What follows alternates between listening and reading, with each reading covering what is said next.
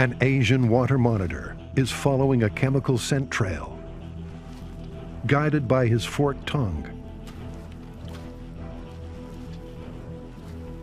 different chemical loads on each fork indicate a smell's direction.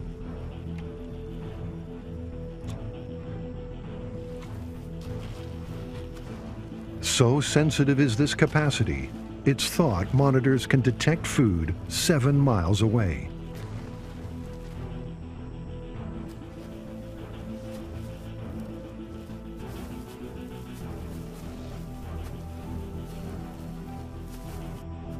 He's discovered the female croc's nest.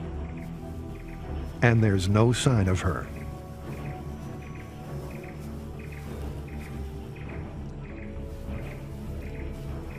His appetite for eggs may spell the end of her precious clutch.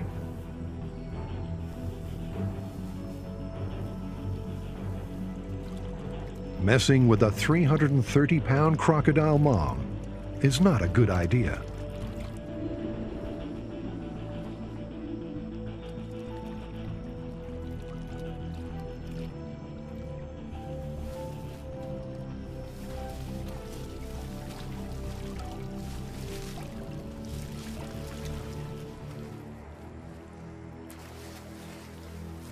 At the water's edge, the monitor encounters another cue.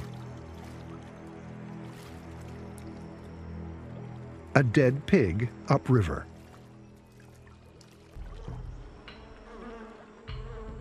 Posing less of a risk than nest raiding, the monitor goes into scavenger mode.